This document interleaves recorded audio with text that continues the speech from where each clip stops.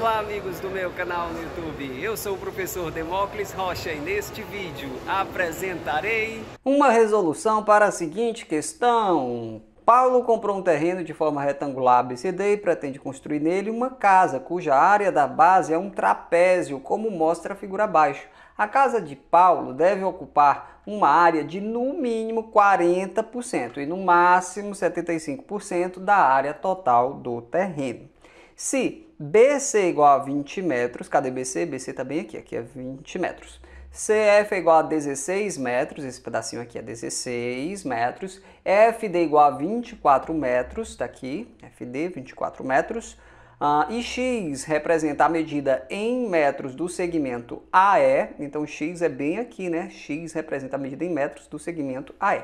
Então, todos os possíveis valores para x satisfazem a condição, aí você tem essas condições aqui. Bom, vou anotar aqui, né? BC vale quanto? BC vale 20 metros, né? Então, vamos colocar 20 bem aqui. CF é 16, bem aqui, ok? O que mais que nós temos? Ah, nós temos a informação de que FD é igual a 24 metros. FD é bem aqui, então 24 metros aqui, ok?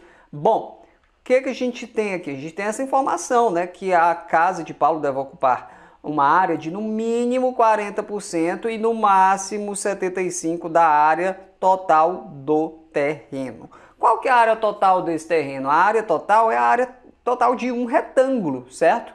Bom, então qual que é a área desse retângulo? Base vezes altura. A base mede quanto? 24 mais 16. 24 mais 16, quanto que dá? Professor, é fácil, 24 mais 16 dá 40. 40 é essa medidazinha aqui, né? Ó. Aí vezes 20, que é a altura do retângulo. Então a área do terreno é 40 vezes 20, portanto, portanto 800. 800 o quê? 800 metros quadrados. Quanto que é 40% de 800? Dá para a gente fazer com cálculo mental. 10% de 800 é 80, então 40% vai ser 4 vezes 80, portanto 320 metros quadrados, certo? É a área mínima então da casa, nessa base aqui para casa, certo? E no máximo 75%, né? Quanto que é 75% de 800? Professor, não sei. 75% é 3 quartos de um valor. Então é 3 quartos de 800. 800 dividido por 4 dá 200 e 200 vezes 3, 600. Então, no máximo, a área tem que ser de 600 metros quadrados, a área dessa casa aqui. Agora, Uh, o formato aqui é de um trapézio, certo? Como é que é a área de um trapézio? Base maior mais base menor vezes a altura sobre 2, tá? Então vamos fazer a área aqui correspondente à casa, certo? Base maior, 24, mais base menor, x, tudo isso vezes a altura, aqui ó, 20, portanto, porque esse tamanhozinho aqui ó, é igual a esse, então vezes 20, tudo isso sobre 2, desse jeitinho aqui. Agora, o 20 por 2 dá 10.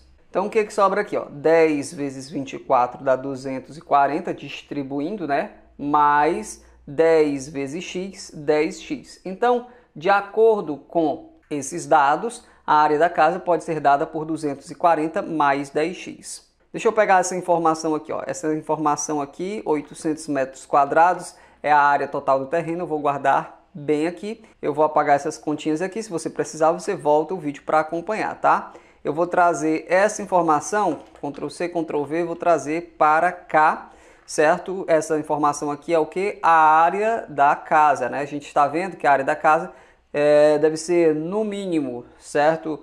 Ocupar no mínimo 40% do terreno, então a área da casa deve ser maior ou igual a 40% de 800, portanto maior ou igual a 320 e deve ser menor ou igual, porque deve ocupar no máximo né, 75% da área total do terreno, então deve ser menor ou igual a 600, eu vou escrever bem aqui. Agora, para encontrar um intervalo que contenha um x, eu posso proceder da seguinte maneira. Vou começar subtraindo 240 aqui, aqui e aqui. 320 menos 240 dá 80. Eu vou escrever bem aqui. Aqui no meio, quando eu subtraio 240, sobra só os 10x que eu tenho bem ali. E aqui, subtraindo 240, sobra quanto? Sobra 360, ok? 600 menos 240 dá 360. Agora, para deixar o x aqui ó, sozinho, eu vou dividir todo mundo por 10. 10x por 10 dá só x, 80 por 10 dá 8 e 360 por 10 dá 36. Portanto, x deve ser maior ou igual a 8 e menor ou igual a 36. Portanto, o item correto é o item D de dado. Se você conseguiu entender, deixe um comentário com uma carinha sorrindo, eu vou gostar de ver. Se você quiser continuar praticando, eu sugiro que você resolva essa questão aqui também da Unifor.